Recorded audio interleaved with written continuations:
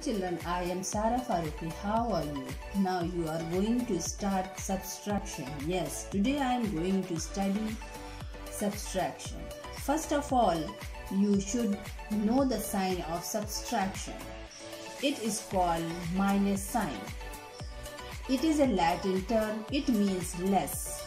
If you want to find out how many are left after some are taken away, we subtract.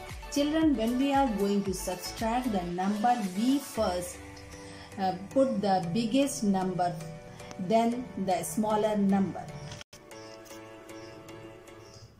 Example 9 minus 4 is equal to 5. So, children, here 9 is bigger than 4 and 9 minus 4 is 5. Now we see the second example. Here are 9 birds taken away 3. How many are left?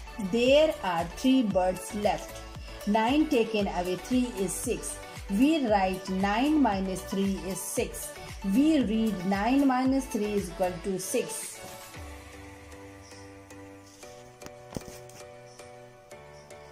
Now we are going to see the example um, 3 minus 2 is equal to 1. How we do this? we can subtract by drawing lines and cross out. 8 minus 3 or 5 minus 3 is equal to 2 i think think children you understand how to do subtraction. Do practice. Take care. Bye bye